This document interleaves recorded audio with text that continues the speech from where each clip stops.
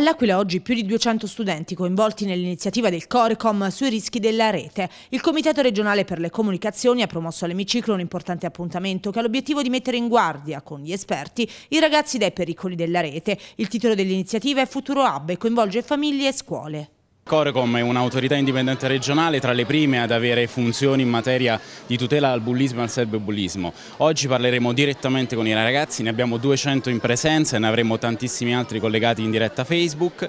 E apriamo oggi un ciclo di incontri idoneo a concretizzare la stipula di un protocollo di intesa, il primo eh, a livello regionale che coinvolge così tanti attori ed attrici, ci saremo noi, ci sarà la garante per l'infanzia, ci saranno le università, ci sarà l'ufficio scolastico regionale e ci sarà anche ovviamente la polizia postale proprio a tutela di queste insidie che oggi più di ieri sono sempre dietro l'angolo e minacciano la salute e, e l'età giovanissima di questi ragazzi.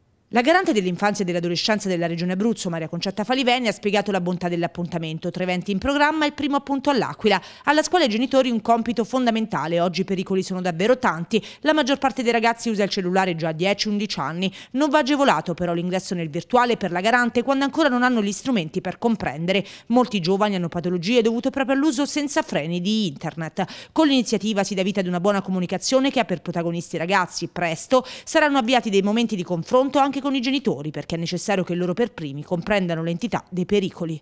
Noi adulti abbiamo acquisito la consapevolezza eh, delle insidie che vi sono sulla rete.